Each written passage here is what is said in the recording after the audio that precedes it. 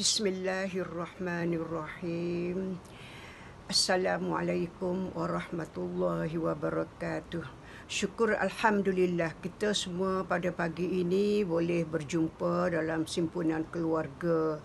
Kita berhimpun di sini kerana kita sudah memahami dengan memahami sangat-sangat ya hadis Nabi yang berbunyi barang siapa hendak tambahkan umurnya panjang di dalam kebajikan dan barang siapa hendakkan tambahkan rezeki juga dalam kebajikan maka hubungilah silaturahim. Jadi pakat-pakat amallah benda ini peganglah benda ini sampai bila-bila. insya-Allah. Baik ya? saya rasa semua kita di sini uh, faham sangat-sangat hadam sangat-sangat ayat al-Quran uh, dalam surah 63 kalau tak silap ya ayat yang ke-10 iaitu surah Al-Munafiqun di mana Allah berfirman antara lain maksudnya seseorang tu bila dia masuk dalam kubur dia minta dengan Allah supaya dihidupkan kembali semata-mata hendak berinfak jadi kita uh, dalam maswapem ini secara tidak langsung ataupun secara langsung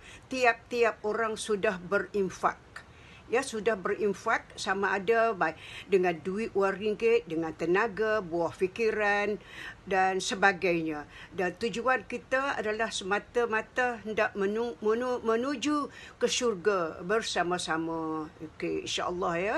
Baik terima kasih. Assalamualaikum warahmatullahi wabarakatuh